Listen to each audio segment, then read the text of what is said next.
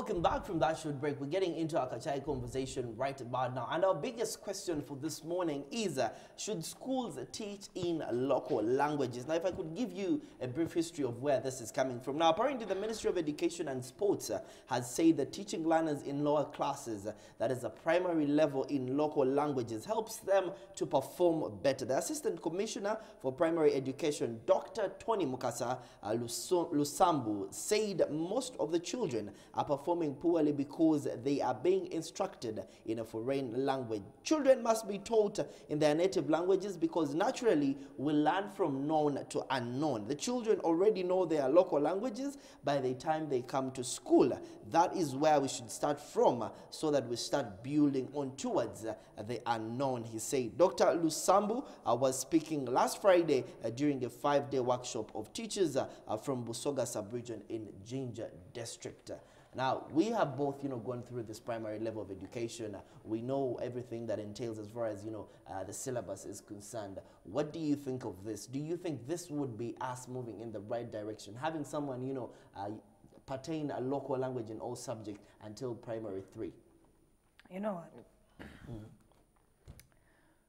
At, at times, you, you, you want to try and, and look at these things from good perspective because the biggest problem with us as Ugandans, we are, we are big pessimists. Mm, mm. Whenever something is rolled out, the very first thing we see about it is the bad stuff. Mm. One, I don't have a problem with my child learning their local dialect. It's a good thing. It will strengthen um, patriotism. It will strengthen so many things. And when you do look at science, science says a child who actually learns their mother tongue 1st mm-hmm. perfects English and all these other subjects will just azitambuisi because he can translate it from his language mm.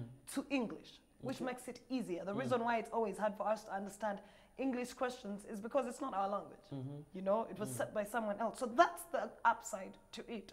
But then again, using what Willis was talking about, this country is known for one thing, Tukubawa record, Kahiti after hit. They are going to sing the same song and time is going to keep passing and as we're waiting for it, it will never get done. And at the same time, why is it that these things come out at very particular times? They could have said this last year when we had the conversation about the curriculum and all of that.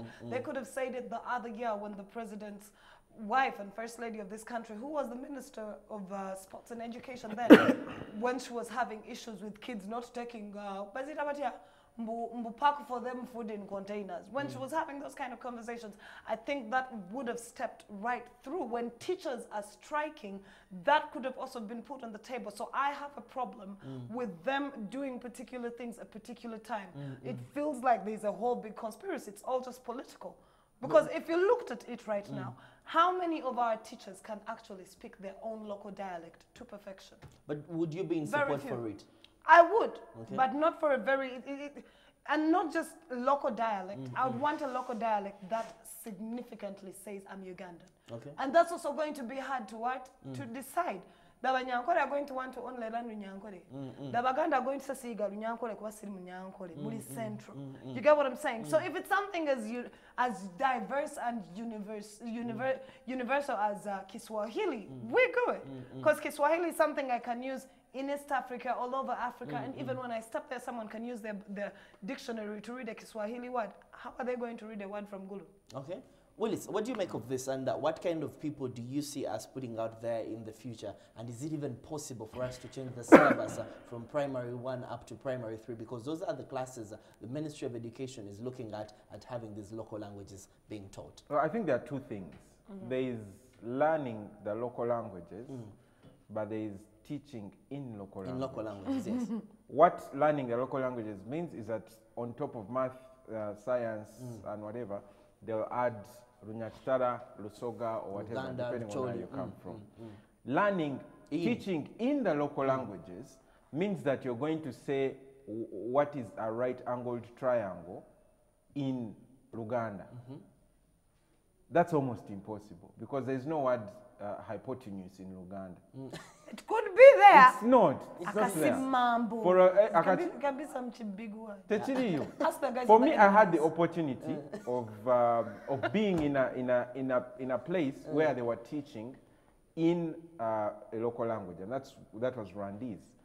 The reason why Rwandese are so good at mathematics, it's because mathematics was told in Chinyarwanda. In other words, all these things um, uh, are there in Chinyarwanda. Mm, mm. You've got uh, definitions, you've got graphs. The word graph is there in Chinyarwanda. So you have a, someone speaking Chinyarwanda at home at the age of one, two, three, four. And even when they get into school, they now just get new ideas onto them. Mm, what happens in places like Uganda is that someone is going to have to learn English 1st mm-hmm. then they can start their education. And I think that's why these guys are having this conversation see if they can teach local languages but also teach in Uganda. The problem we have in Uganda, though, is that Uganda is so diverse. But in its diversity, uh, all these small tribes and regions do not have the numbers to make it possible for a, a minister of education to have that much money to cater for all these things. Because what you're talking about is research. You want scholars at university who have mastered Lunyachitara to go back and translate, uh, you know, these subjects and the, The syllabus, syllabus, yes. Into uh, the local language. That's money. And uh, for how many people? Not million, not uh, many millions of people. So Very does it few. make sense? I don't think it doesn't make sense. Mm, mm. The Baganda how, have, however, left um, the rest of Uganda in that conversation mm, in a sense that they have started pushing Luganda slowly by slowly. They are making it. They are making it a business language. So wherever you you go from the Rwandan border to the Kenyan border, you use Luganda to trade Yeah. slowly by slowly it will become easier uh, for you know minister of education to say let us teach in luganda mm-hmm. why because everyone can Is identify using with it. it, mm. True. you understand so that's where you know the problem is if we can find a language mm.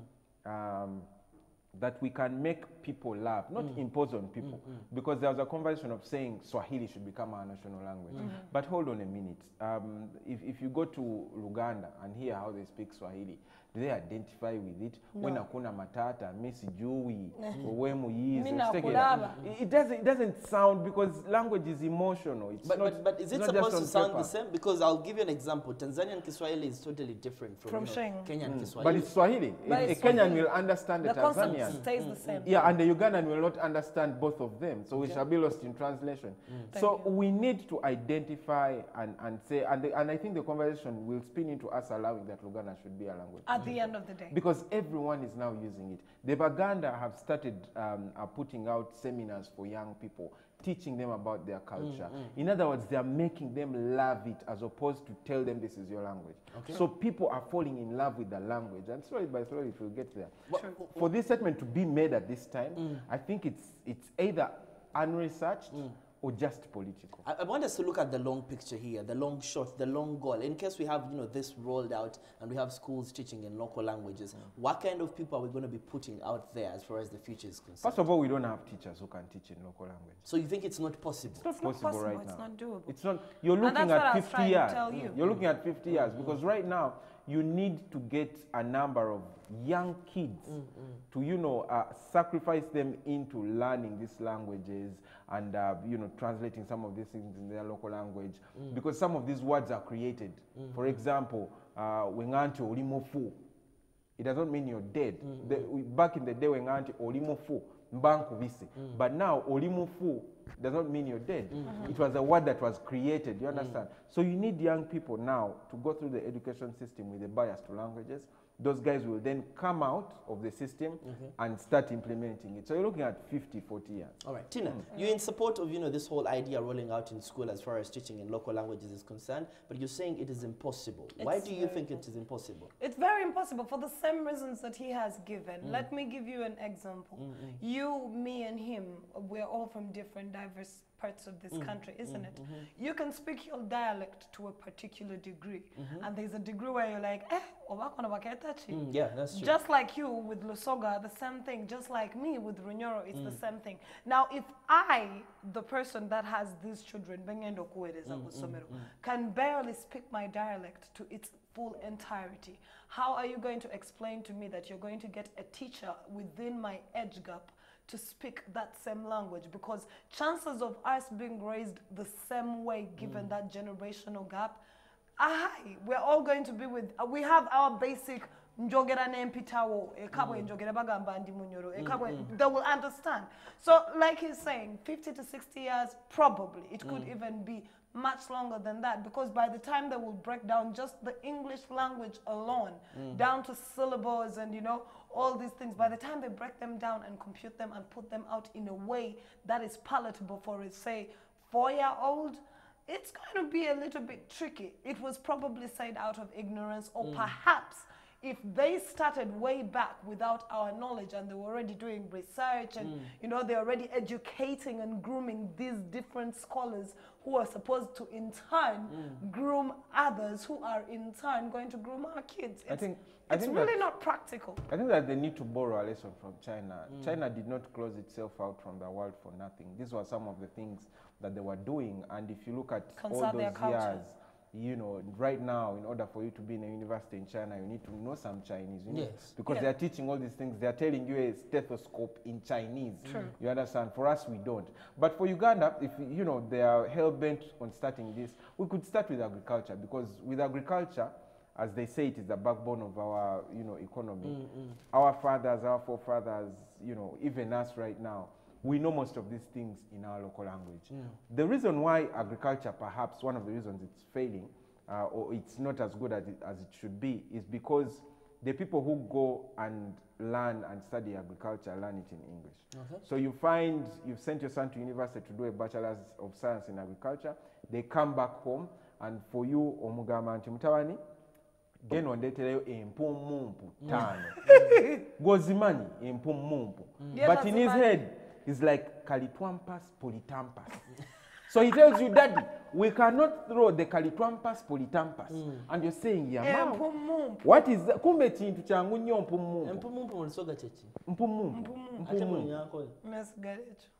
Nempumumpu. Nempumumpu. Anti pronunciation. kyana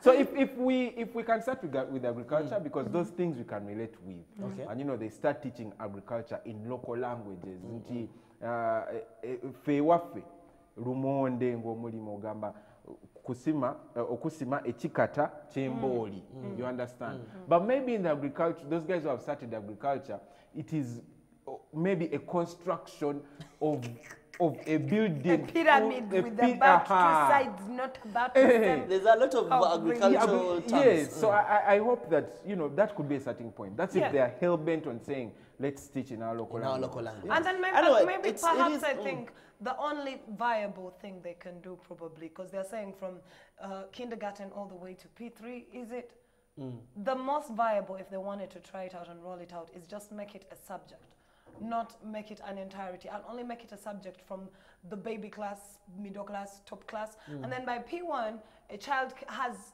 a bit of knowledge about different dialects, and then Mm.